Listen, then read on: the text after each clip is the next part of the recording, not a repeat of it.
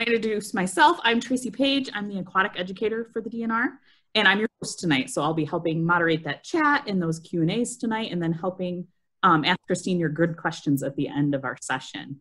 Our presenter tonight is Christine Steensma. She is the educator interpreter at the Oden State Fish Hatchery, and she's going to tell you all about it and then all sorts of great stuff as we get into Water World tonight. So I will let Christine take it away. Well, hello everyone. Uh, my name is Christine Steensma. I am the interpreter that works at the Oden State Fish Hatchery. And so generally I give tours to the public and school groups that happen to come and visit. And I talk about how important the hatcheries are and the role that they play in supporting uh, sustaining fisheries. But also I remind people that public land belongs to Michigan residents like you and me. So what I'm going to do is I'd like to share a slide just to kind of show you if you happen to come visit my site, some things that you can see while you're here.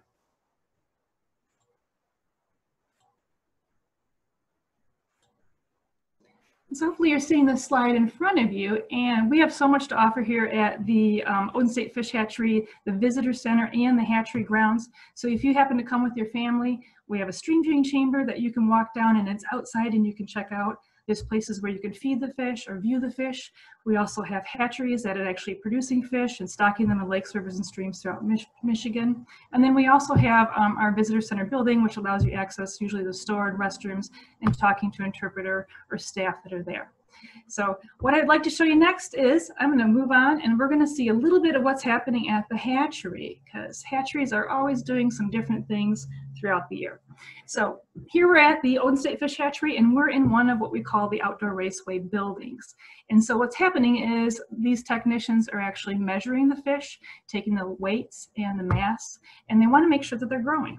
So we actually raise rainbow trout and brown trout, and you're going to see some samples that I have.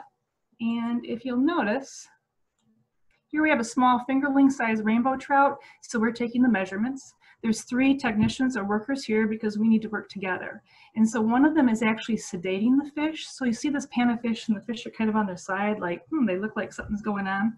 They're actually sedated because they don't really want to cooperate and they're scared. So we're just making sure that we can quickly do those measurements and then we can categorize or calculate that information. So here we have another uh, technician that's working to take that data and we're like, hey, the fish are growing, they're getting larger. We might need to move them over to another raceway to break them up and give them more space. So I'm going to unshare right now and you're going to take a look at me for a little bit. There we are. Hello. So we actually raise two different fish species here at Oden State Fish Hatchery, and one of them is the rainbow trout. These can actually be out of the water, so that's why I use them kind of as my props. And the second one is the brown trout that you see here. And so this is the other fish that we raise at the Oden State Fish Hatchery. You got to keep in mind that we actually have six state hatcheries and each of us raise different species of fish. And so we are concerned with very much the temperature water that the fish have and also their source of water. Is it surface water? Is it spring water? Is it actually groundwater that we're using? And that helps determine the fish that we're going to raise at each of these sites at that point. So I'm going to kind of go back to screen share and we're going to take a look at this hatchery image again. And so hatcheries raise fish to be released in lakes, rivers, and streams throughout Michigan, which is a good start, but making sure that the location where the fish go can support them and wildlife is just as important. So each of us live in a unique watershed, and there's actually 86 major watersheds, and then there's also smaller ones within those. But you know, what is a watershed in the first place? So let me show you some examples of a watershed. And so I want to give you a little geographic lesson here so you kind of know where I'm situated at. Um, so here we're at the tip of Michigan. And to give you a reference point, we're looking at the Straits of Mackinac. Most people know where the Mackinac Bridge is located. So you're traveling across from the lower peninsula up to the upper peninsula. And so the Oden State Fish Hatchery is actually located across from Crooked Lake. And a major city that most people will know, or I should say a tourist attraction, is Petoskey, Michigan. And so we're not far from Petoskey and we get a lot of visitors throughout the summer, May through October months. So now you're gonna notice on this map that there's actually different colors and those different colors are representing different watersheds. And so our watershed here that I work and live in is represented kind of by this pink purple color. So you know what is a watershed?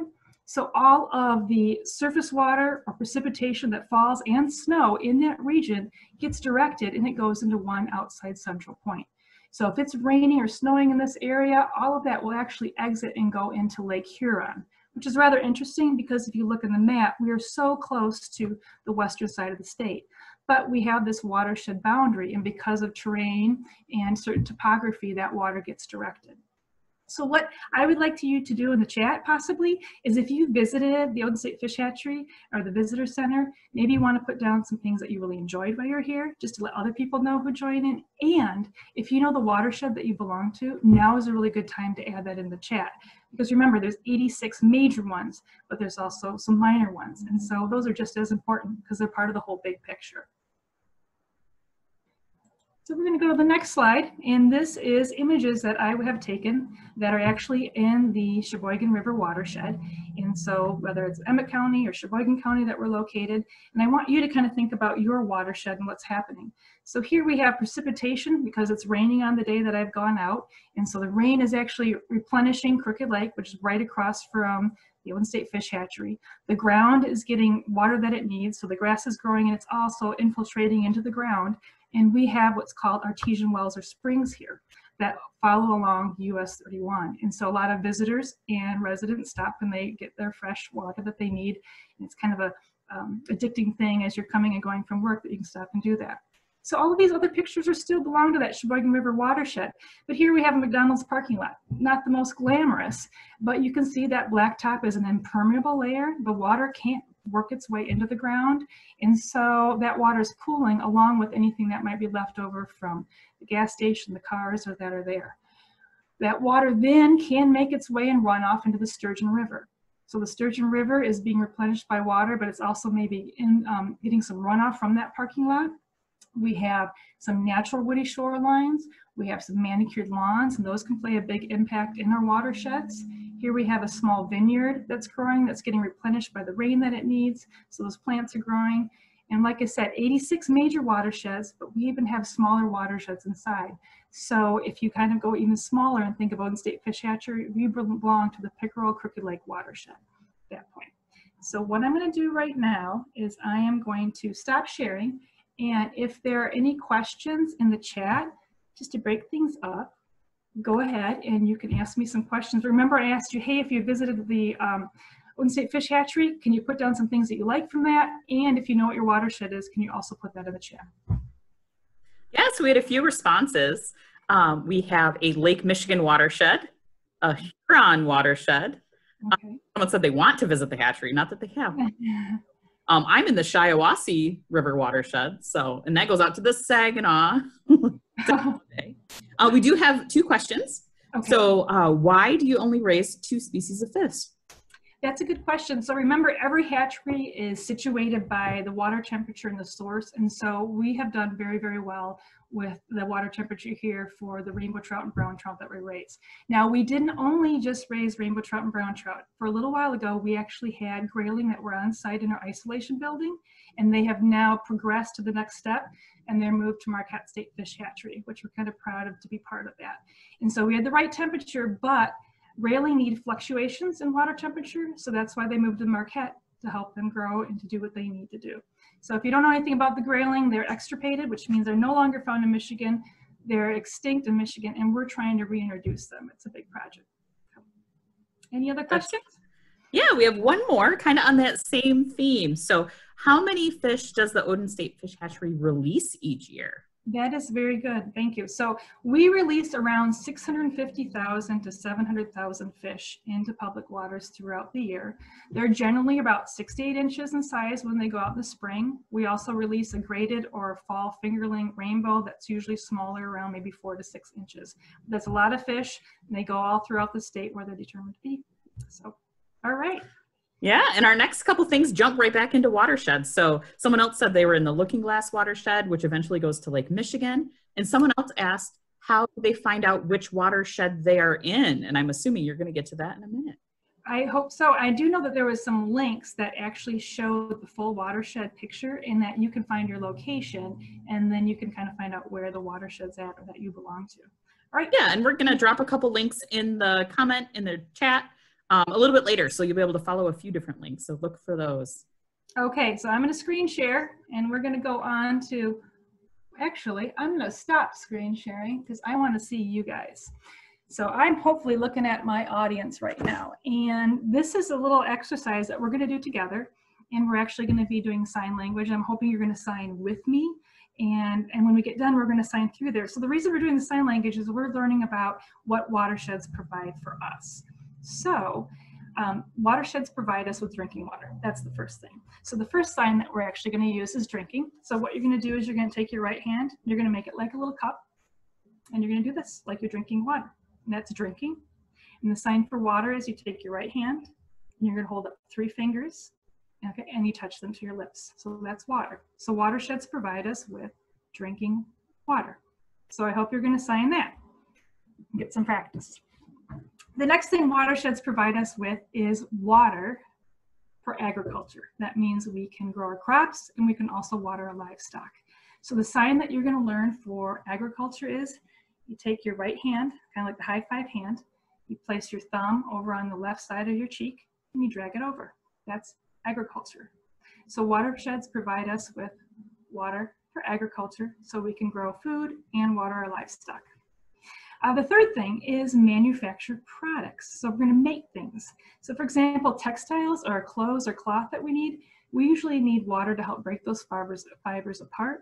We also need to use water to help dye these products to make them the colors that we actually need. So that's one way that water will help us out. And another one seems like toilet paper seems to be the big push this year.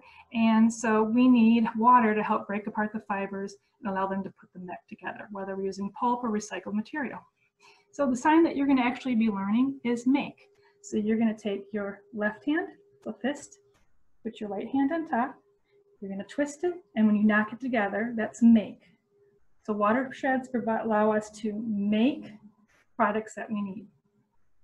Another fun one is watersheds provide us with an opportunity to um, do outdoor recreation. So that's things that are close to water or in the water. So boating, swimming, fishing, canoeing, kayaking, you name it, swimming, all of those wonderful things. So we're gonna learn about three signs for there.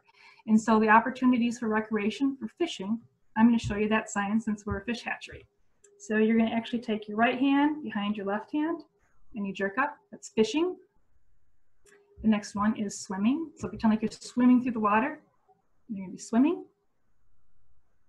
And the third one is going to be canoeing. So you're gonna take a paddle and you're gonna paddle through the water.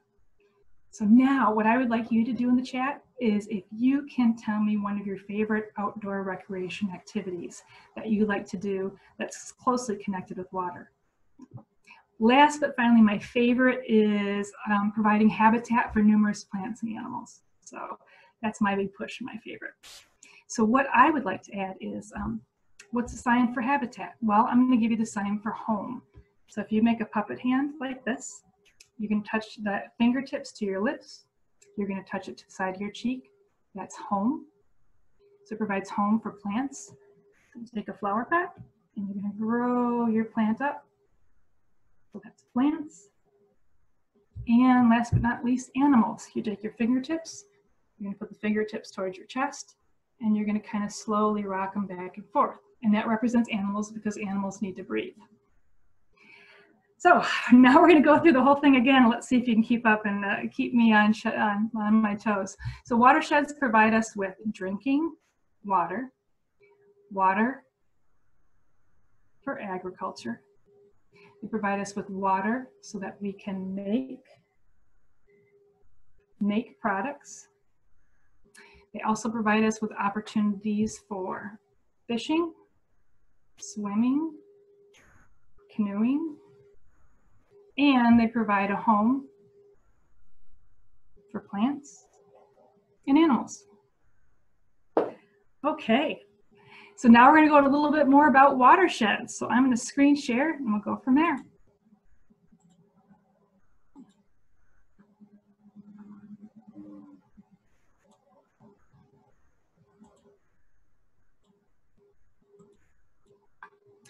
So hopefully what you're seeing in front of you right now is an image that talks about different pathways. So rain reaches the lakes and rivers and replenishes them through different forms of precipitation. So there's some things that you can do. One, it can land directly on them. So that's precipitation either through rain or snow. Two, it can wash over the ground and can run off or maybe cover over the blacktop or impermeable surfaces like cement. Or three, it can soak into the ground. So what I'm gonna do is I'm gonna show you a video and I would like you in the chat to put down one, two, or three, or you can spell out precipitation, runoff, or groundwater in the chat. So even though all of them are happening in the video, which one was I really trying to emphasize?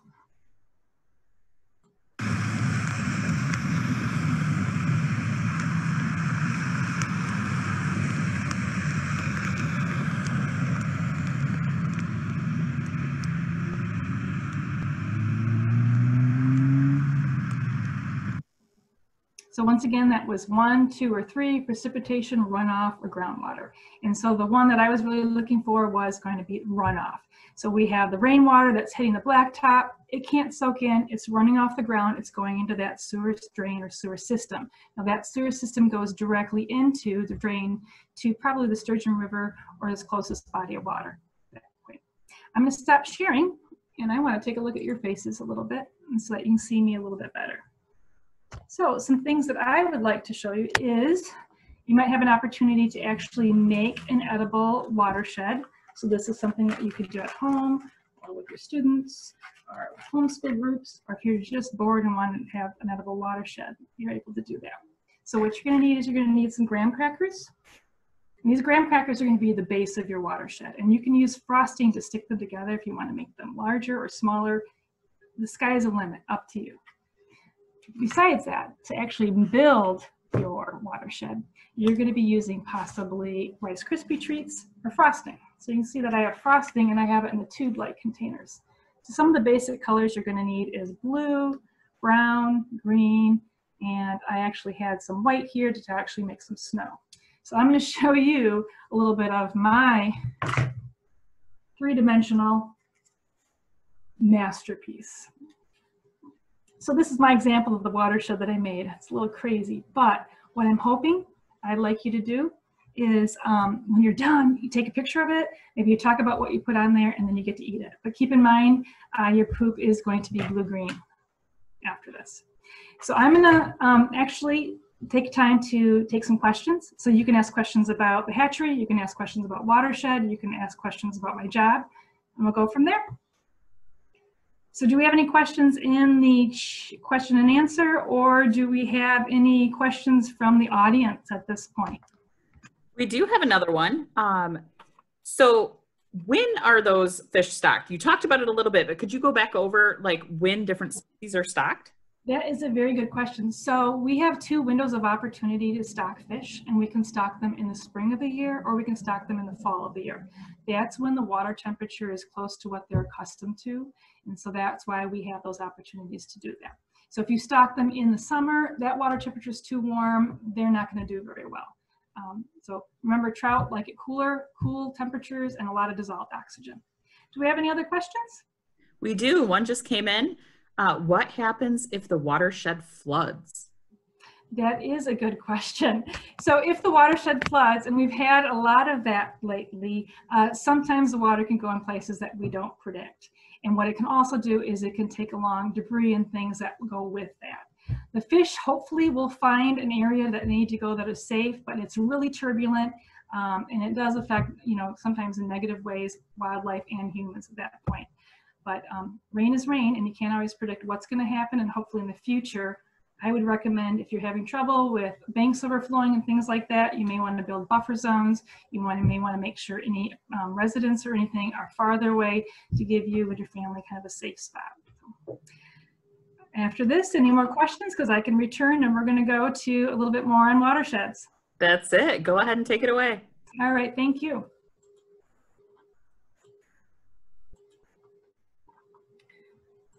All right, so we're going to move on to the next. Here's my favorite part. So if you happen to visit the Oden State Fish Hatchery Visitor Center, there's a spot where you can feed the fish. And so we I have a video that I'm going to show you. These fish are being fed like pelleted food. So fish in the wild don't eat pelleted food. They're going to talk. We're going to talk a little bit about what they need from their watershed. But it's always nice to see the fish that are feeding. And we hope it encourages you to kind of visit and check this out.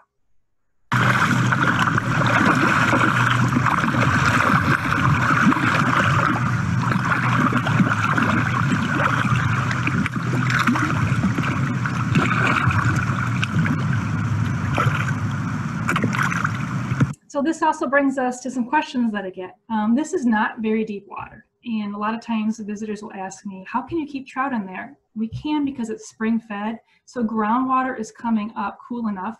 You know, you're looking at 46 to 48 degrees, and it's making sure that those trout are at an optimal temperature.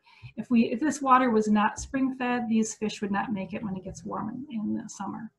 The, the hindsight, or the other thing alternative that we're looking at is when does this water freeze? It does not. So that groundwater keeps it cold enough, or should say warm enough, so that it's not going to freeze. And that's going to make sure that those fish um, are able to survive through the winter.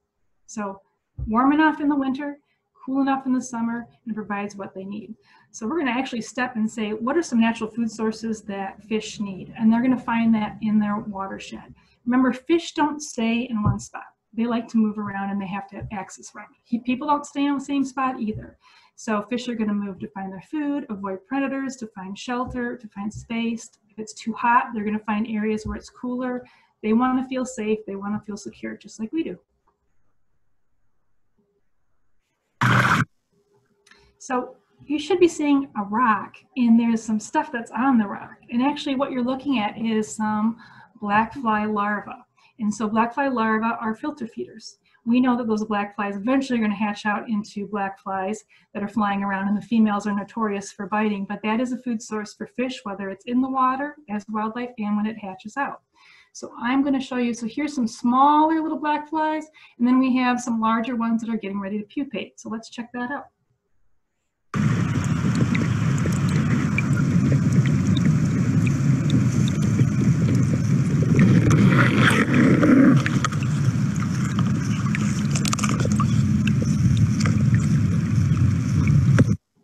So one of the reasons that I'm showing you this is um, aquatic invertebrates that you find, that's going to be any like possible insects, or you're looking at uh, mollusks or snails that are in the water, they help us to realize that that's a healthy watershed. And so when I see a diversity, or it means many different types, I know that that watershed's healthy. So I'm going to show you some images of some other aquatic insects that trout are going to feed on, so are other wildlife. So here's one and this is a caddisfly. Now, it's not the size of my head. It's actually a lot smaller. So if you look at the scale, you're going to see about the size. So this caddisfly makes its case kind of out of vegetation or bark that you can see. But each caddisfly family actually makes their case out of different things, and that helps us determine what family that they actually belong to.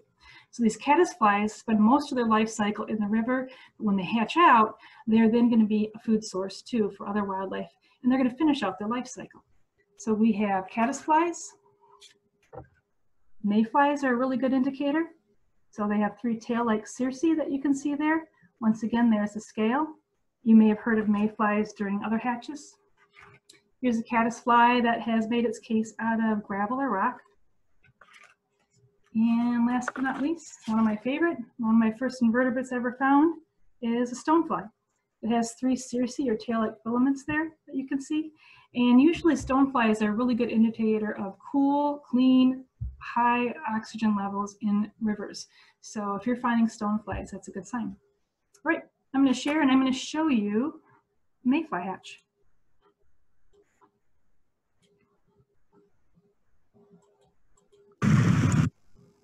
So you should be seeing an image of, um, this is across from Crooked Lake. Obviously it's under street light, so that's gonna attract them. But this is a mayfly hatch, and it can be a lot of mayflies. They're finishing out the last cycle. This is food source for birds, fish, you name it. It's a take all time. Not only when the mayflies hatch, that's when we get a lot of um, anglers that are fly fishermen and women that are out there and they're going to take opportunities and pick the correct fly on the water of their choice. So here's an example of mayfly hatch. Now, um, you should see an image of a healthy watershed healthy ecosystem that's up a river. What I would like you to do in the chat is can you please list some of the animals that you see on this poster? I'm going to go through a few, but I'd like to get some more feedback from you. And I know there's much more than I can cover that are in here. So can you please fill that out in the chat? And I'm going to talk about some of the ones that stand out to me. So what I first like to point out is what I like up over here is there's a farm. And that farm, we know that there's fertilizers that they might be using. Um, there could be pesticides, possibly herbicides that they may or may not be using. What I really like is along here is there's a buffer zone. So that buffer zone is actually helping to make sure sediment, soil, and other things don't run directly into that river. And that's gonna show some kind of responsibility of farming practices. But now I'm gonna go through some of these animals here we have the raccoon. That's always the first one. Since I always like to point out another one, we're looking at um, leaves of three, let them be, poison ivy. Uh, we have some spiny soft-shelled turtles. So here's one. We also have a map turtle. We want to go on fish. Remember that we raise brown trout. So here I have a brown trout and it's actually chasing a hatched mayfly. To look at more invertebrates, we have a giant water bug that's feeding on kind of a small minnow or fish. We have um, a back swimmer, a water boatman, a caddisfly, a smallmouth bass, pumpkin seeds, an otter, a belted kingfisher, a cardinal flower, plenty of things that are going on. So remember, nature loves diversity, and the more diverse an ecosystem is, so that means the more plants and animals are in that, the healthier that watershed is. And the healthier it will hopefully under, undergo any change that occurs, like flooding, invasive species, or things along that lines. All right, so we're gonna go to the next slide. So we talked about watersheds, and you know there's you know 86 major watersheds.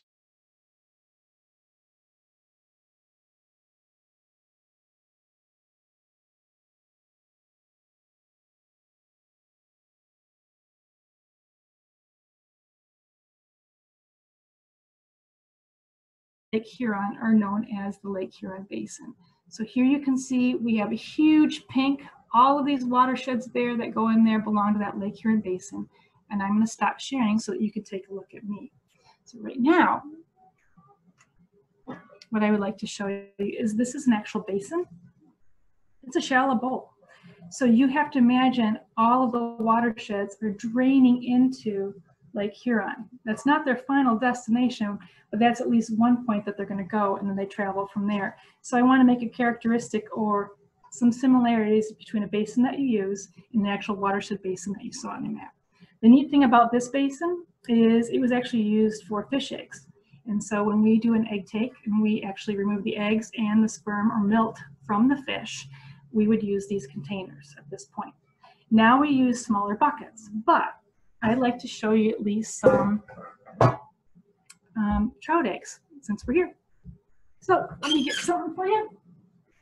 So we know it takes at our hatchery with the water temperature that we have about three months to actually be a swimming fish. So I'm first going to show you uh, right here. So this is actually what we call eyed-up eggs. You're going to look at some small eggs in there and you're going to see two black dots. Those are the eyes of the fish. So this is when the egg is sturdy. If you happen to be doing salmon in the classroom, this is generally when you will get your eggs. So this is probably about a month old, um, 37 days when they actually get eyed up and we can sort out good egg versus bad egg. The cool stuff happens is when they hatch out. So when they hatch out, they go to what we call sac fry. So here you can see some sac fry. Compare that to a chicken. There's like a yolk sac that's located below the fish.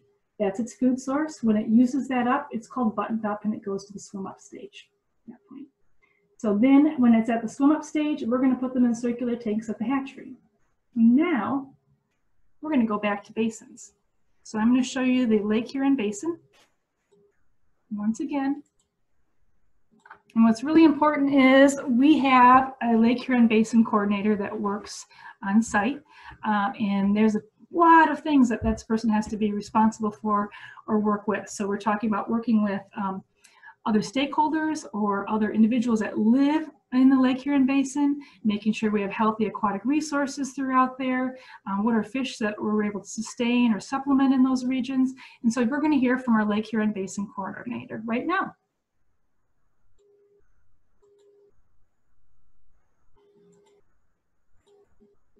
All right, I will let him introduce himself.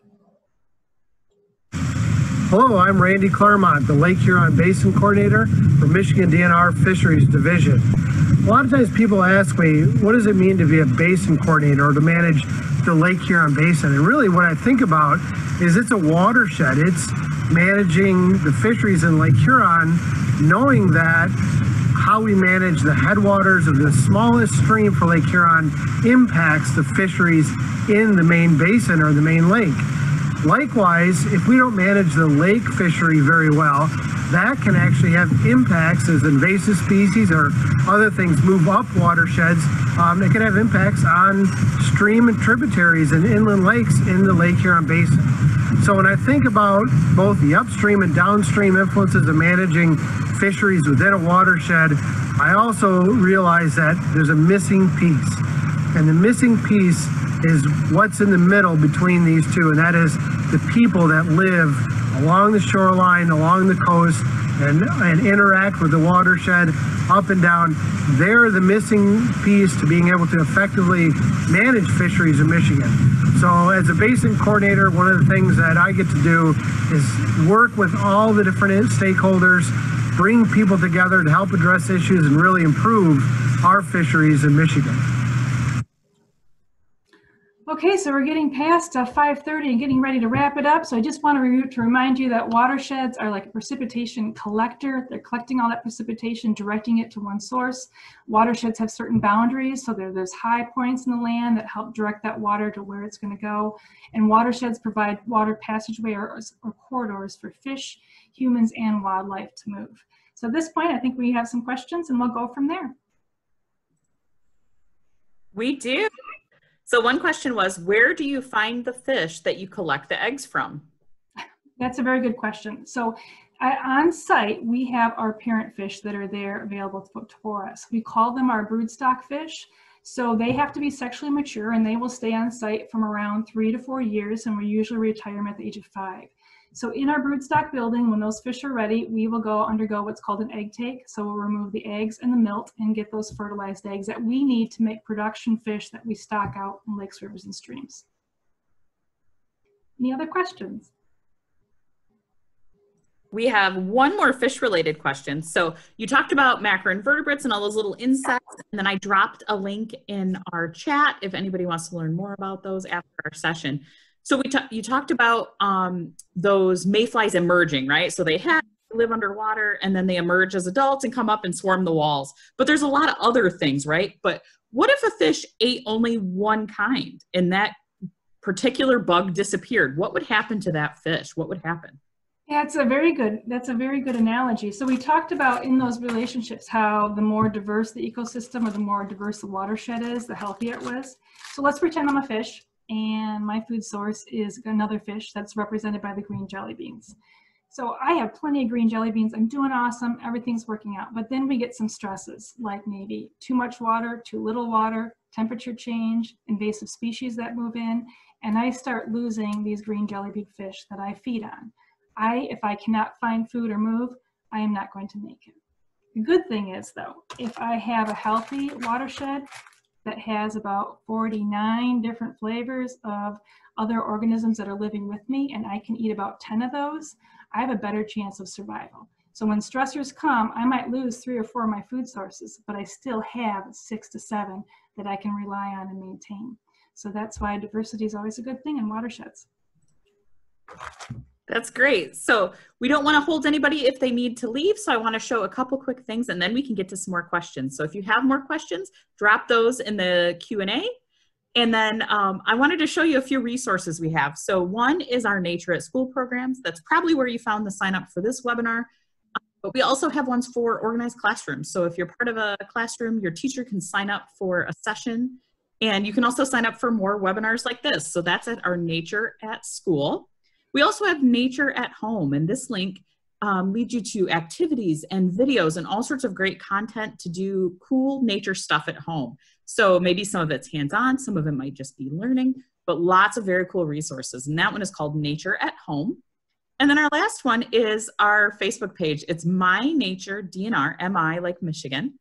And this is a Facebook page with just fun nature content every day of the week. So we have um, Michigan Mondays, where you learn about a cool site in Michigan, and Wildlife Wednesdays, where you can learn about a species that lives in Michigan, and lots of other fun content. So definitely be sure to check that out on Facebook. So we can go back and see if we have a couple more questions, and we do. So one is, does the water in the Great Lakes go anywhere, or is that the end? Actually, it does flow, and as it's flowing, it does eventually make its way out into the, into the ocean. So water isn't staying in the same spot, but it is moving from kind of point A to point B at that point. Uh, do we have another question? We have one more. Um, can we watch the DNR release fish? Um, that's a good question. There are times when they're releasing fish in, in areas where they make it public. Um, currently, we haven't been able to do that in the current scenario, but if we are actually releasing or stocking fish in certain locations, the public is welcome to come down and watch at a safe distance at that point, definitely. Um, I also would like to let you know that if you enjoyed this program, that our funding comes from the sale of fishing licenses. So that helps sustain and restore fish populations. It helps um, world-class fishing. It also um, allows for the things that we love in Michigan and enjoy. So if you've participated, thank you very much. We appreciate that. Any other questions? That's it. So I want to remind everybody we've got these three websites and I will drop those in the chat. Um, and I want to thank you for being here. It was so nice having all of you attend. And please do sign up for some of our future webinars. Um, there's a lot of great topics coming up and there'll be more starting in January. So please join us for something else. We want to thank you all for being here and we will see you soon at another webinar. Thank you. Thank you.